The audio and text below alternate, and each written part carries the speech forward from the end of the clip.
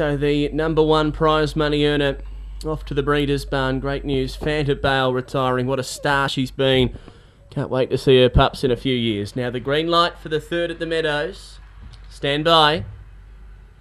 And away. Walk Fright Yabby a little bit awkward to go. Had a bump into Stinger's mate. Away quickly High Water. Found the lead over Miss Tarinda. All down and out Dinah Penny at the first corner. So settling down. High Water the leader. Led by a length to Miss Tarinda who loomed up quickly. Running on Stinger's mate. Two behind them. He swept right round them now. Followed then by Glendon Lad. Walk Fright Yabby. A break back to Regal Memphis. A packing field. Stinger's mate wide out. Goes up to High Water who's lifting. High Water with the head in front. Stinger's mate drives. High Water got there by a length. It might be Miss Tarinda second, just over Stingers, mate. Then Walk Fright Yabby, followed by Glendon, Lad Regal, Memphis, and Dinah Penny's failed to complete.